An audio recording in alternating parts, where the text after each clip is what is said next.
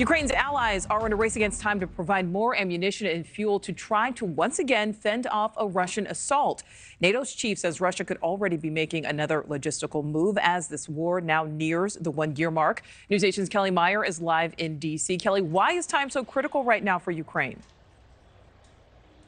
Well, here's the issue, Nichole. The U.S. and allies can pledge these weapons, but these shipments take time to get into the country, and that's time that Ukrainians just don't have as they continue to be bombarded by Russian attacks. And these are attacks that they fear will only grow more vicious as this war reaches the one year mark.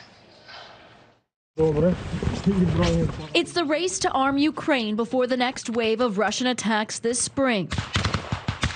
We will move out with the urgency that the moment demands. Today, the U.S. Secretary of Defense at NATO headquarters in Belgium, raising the alarm that allies need to rush more weapons into Ukraine now, before the expected Russian spring offensive. That's just weeks away, uh, and so we have a lot to get done. Secretary Austin says Ukraine is expected to launch a counteroffensive of their own.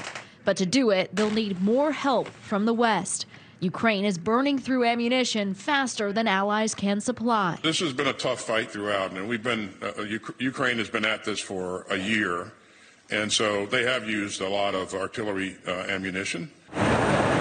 The latest U.S. weapons package includes more ammunition for artillery and HIMARS, the U.S.-made rocket system.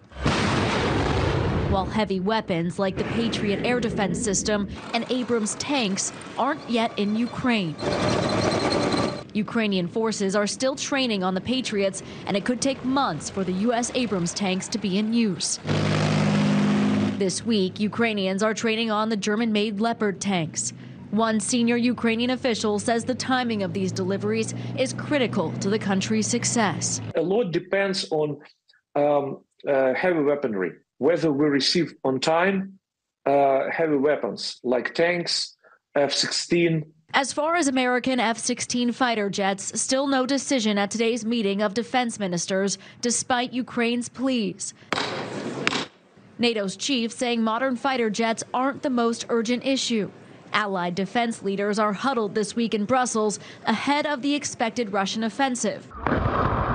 An offensive that NewsNation's Chris Cuomo, on the ground in Ukraine this week, says he believes has already begun. There can be no question about if Russia is going to turn up an offensive. It's happening. And it is ugly, it is obvious, and it's intentional.